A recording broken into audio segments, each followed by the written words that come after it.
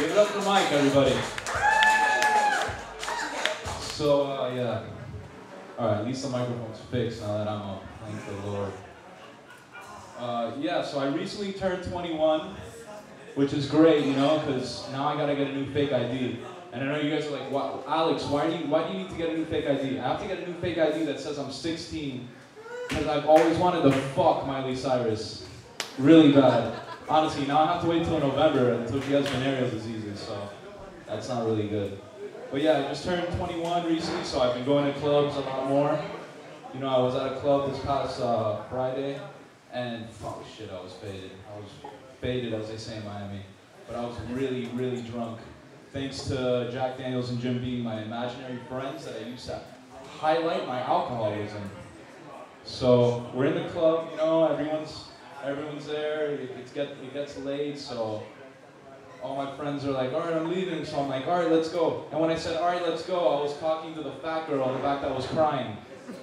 Yeah, I'm a gentleman, all right? I took care of her. All my friends took home the beautiful women. I took home the fat girl. But yeah, she was crying because she thought they served food at the club, which I don't know who sent her that memo. Maybe it was Rosie O'Donnell. But yeah, so I'm like, come on, no one wants you. I'll fucking have you. Come on, let's go. Let's go. I'll roll you to my car if that has to happen. Somehow. If I can get you into my car to my house and we could fuck. I wish the fucking wireless microphone was working right now. Imagine if I did my act like this. So uh, yeah, airplanes are pretty weird. But uh, yeah, so we get to my house, things start getting hot and heavy. More heavy than anything though.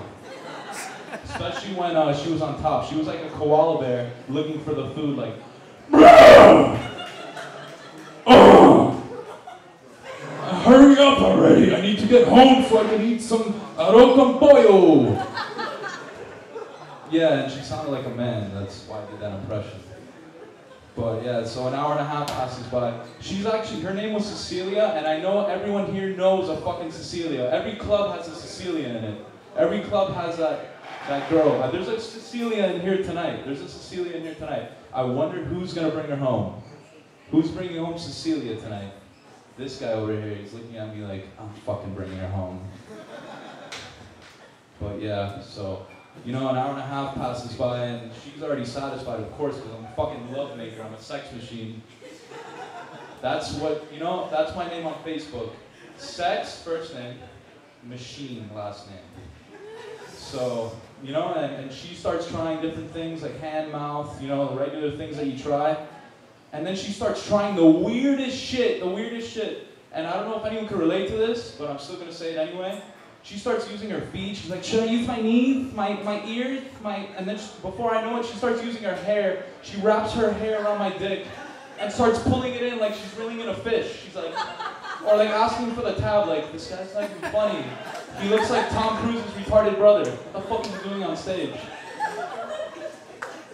But yeah, so, and even, what's even worse after that was I had to drive her home, which, you know, that's the worst thing when you can't uh, perform good in bed and you have to drive the girl home after, that's really bad.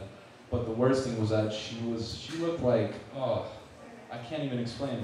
But I don't, I don't know if you guys realize this, but every time I get in my car, it's like a chonga stole my car while I was sleeping and then dropped it off in the morning because every fucking day when I get my car, no matter what I put in, because my CD player is broken out so I listen to the radio. I can't listen to my Justin Bieber CD, which fucking pisses me off.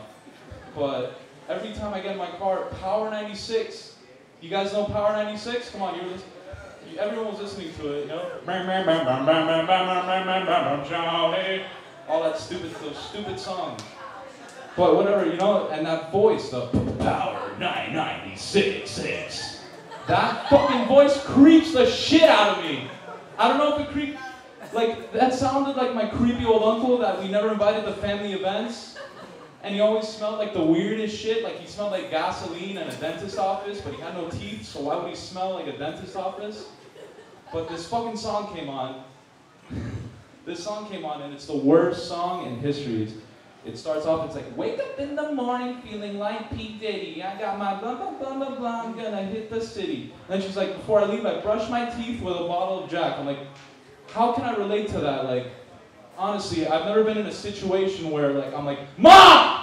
we're fucking out of toothpaste. And she's like, oh son, uh, we have some Maker's Mark in the in the top cabinet.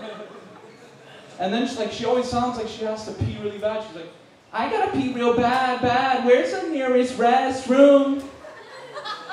like, bitch, because you fucking brush your teeth with alcohol, maybe you should try brushing your teeth with maybe beer. Start off with beer, and if that doesn't work, you can go to harder liquor.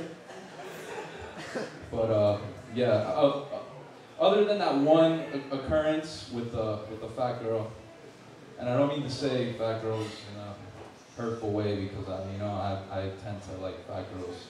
I actually have BBM, big bitch mes- messenger, and so that's you know I'm, I'm, a, I'm a friend to the large large people.